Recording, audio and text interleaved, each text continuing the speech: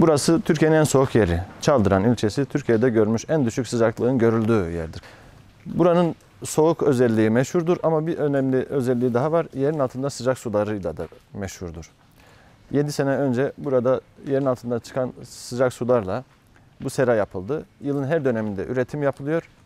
Teknolojik bir sistem bu sistem topraksız tarım serasıdır. Burada domates üretiliyor. Zaman zaman farklı ürünler de yetiştiriliyor, üretiliyor. Biz bu serayı yapmadan önce sera ısıtma tecrübesi eksi 27-30'lara kadardı. Burayı yaptıktan sonra ilk defa eksi 40'larda, eksi 45'lerde seracılık, ısıtma, sera ısıtma deneyimi kazanmış olduğu seracılık sektörü. Bunu biz burada başardık. Bu ilçede başardık. Türkiye'nin en soğuk yerinde başarmış olduk. En soğuk yerinde kışın zemheri soğuğunda domates üretiliyor, biber üretiliyor, salatalık üretiliyor.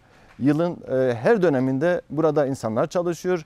Dışarıda Sibirya soğukları, içeride Antalya sıcakları oluyor ve bunu burada üretilen ürünleri Türkiye'nin birçok yerine gönderiyoruz. Her dönem burada 40 kişiye yakın personel çalışıyor. Kadınlar çalışıyor, erkekler çalışıyor. E, stajlar yapılıyor burada, öğrenciler geliyor. Bir e, bilgi, deneyim paylaşımı gerçekleşiyor burada. Dolayısıyla ekonomik açıdan da, sosyal açıdan da çok çok fayda sağladı bu ile bu ül- ülkemize. 5 yıldır da burada çalışıyorum. Burada hem tarımı öğrendim, meslek öğrendim.